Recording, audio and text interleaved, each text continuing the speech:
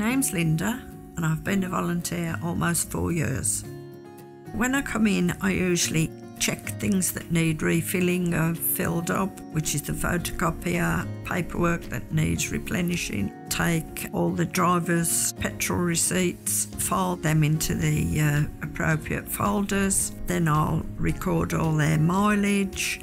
When the goods inward sheets come, I'll put them onto the computer. Then I'll take over with the picking lists, which they've done in the warehouse. They've picked all the orders then I'll complete them onto dispatch notes, ready for them to go out the next day. I enjoy it. It's different from what I've ever done before.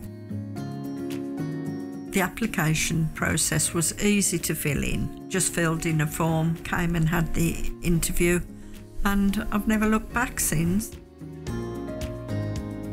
I've gained using the computer when I left work which was many years ago, all I'd use was a word processor.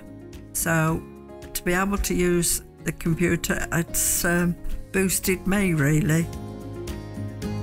But I do enjoy the work and I like to be busy. I don't like sitting twiddling my thumbs. Everybody makes you so welcome at FareShare that it's like home from home. If you want some new friends, and to occupy yourself and do something worthwhile, it's worth coming to FareShare.